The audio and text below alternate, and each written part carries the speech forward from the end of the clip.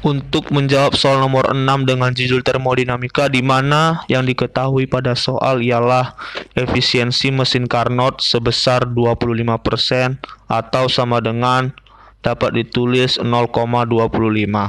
Adapun yang ditanyakan pada soal ialah perbandingan kalor yang dibuang dan kalor yang diserap dalam mesin Carnot.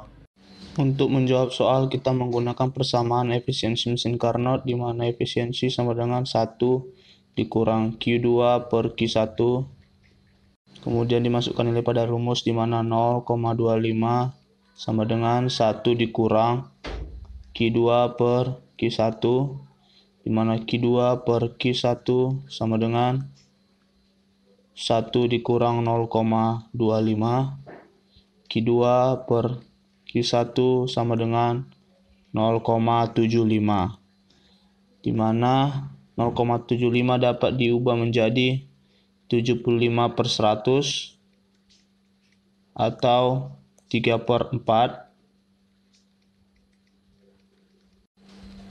sehingga perbandingan Q2 dibanding 3 Q1 ialah 3 banding 4 di mana jawaban yang benar ialah C. Sekian dan terima kasih.